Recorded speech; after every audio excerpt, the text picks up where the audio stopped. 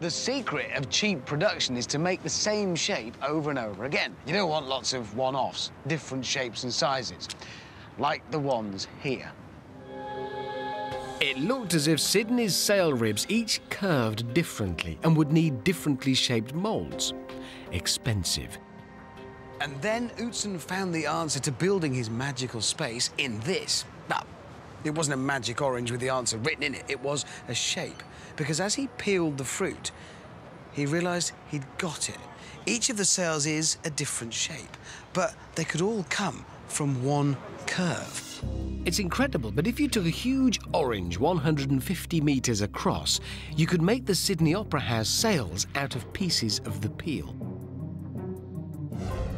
Each sail is a different sized piece of the peel.